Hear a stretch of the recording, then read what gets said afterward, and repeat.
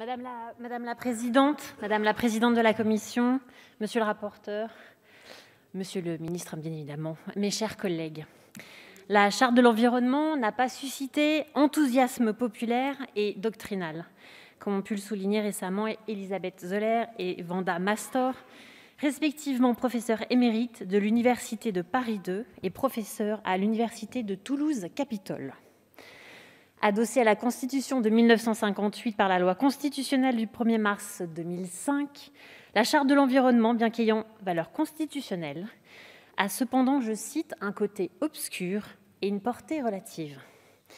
C'est la raison pour laquelle le groupe Mouvement démocrate et démocrate apparenté comprend la volonté de la Convention citoyenne d'inscrire à l'article 1er de notre Constitution que la France garantit la préservation de l'environnement et de la diversité biologique et lutte contre le dérèglement climatique. Si la Charte consacre le droit de l'homme à habiter une planète vivable et partant à exiger que chacun consente les efforts indispensables pour y parvenir, force est de constater que depuis 2005, la dégradation de notre environnement s'est malheureusement poursuivie.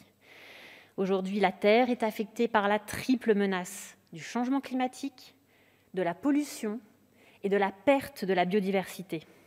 Vous le savez, notre planète vit sa sixième extinction de masse de son histoire, mais cette fois en raison de l'activité humaine. Nous en sommes tous, individuellement et collectivement, responsables. Le secrétaire général des Nations unies a affirmé, il y a quelques jours, que la planète était en train d'atteindre rapidement un point de non-retour en détruisant les forêts, en polluant les rivières et les océans, et d'ajouter que heureusement la Terre est résiliente et nous avons encore le temps de réparer les dégâts que nous avons causés. Pour cela, il faut que l'action publique s'inscrive dans une obligation de résultat, ouvrant ainsi la voie à la contribution de chacun, à des actions individuelles qui s'inscriront dans des politiques publiques volontaristes. C'est pourquoi notre groupe soutient ce projet de loi constitutionnelle. Nous devons montrer le chemin en posant des principes forts, en renforçant notre arsenal constitutionnel relatif à la protection de l'environnement, montrant ainsi notre détermination à placer cet objectif, cette urgence, au cœur des principes qui guident notre République. Chers collègues, notre groupe se réjouit de la prise en compte de la proposition de la Convention citoyenne par le Président de la République qui s'était engagé à la soumettre au Parlement. Cet exercice de démocratie participative doit nous inciter à avancer vers une meilleure articulation entre démocratie participative et démocratie représentative, sans les opposer, évidemment, car elles poursuivent un même but. Nous devons améliorer notre fonctionnement démocratique. Conformément à l'engagement du chef de l'État, le texte sera ensuite soumis au référendum de l'article 89 de notre Constitution s'il est adopté dans des termes identiques par les deux chambres. La compétence législative du Parlement, qui est l'une de ses trois missions constitutionnelles, ne doit cependant pas être amoindrie ou s'effacer. Elle doit s'inscrire dans une partition démocratique où nos concitoyens occupent une place qui leur permet de prendre part à nos travaux, ce qui était déjà le cas, mais désormais de façon plus active, plus transparente et plus concrète.